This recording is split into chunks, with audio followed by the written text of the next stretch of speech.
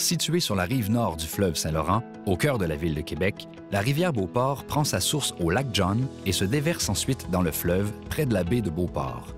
D'une superficie de 26 km, le bassin versant est très urbanisé, ce qui affecte la qualité de l'eau et des écosystèmes qui en subissent les contre-coups. En amont, son relief plus accidenté se situe dans la formation géologique du bouclier canadien.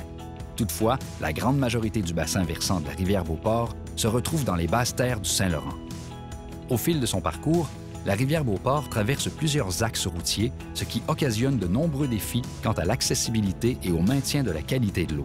L'imperméabilisation du sol et le ruissellement qui en découle, les débordements d'eau usée et l'érosion de la bande riveraine sont parmi les facteurs qui entraînent la dégradation de la qualité de l'eau de l'amont vers l'aval.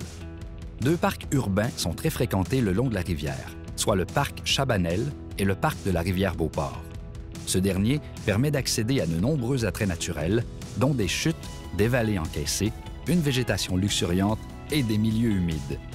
En plus de nombreux attraits historiques et paysagers, le parc présente également plusieurs sentiers et belvédères qui permettent la pratique de la marche, du vélo et de l'observation en nature.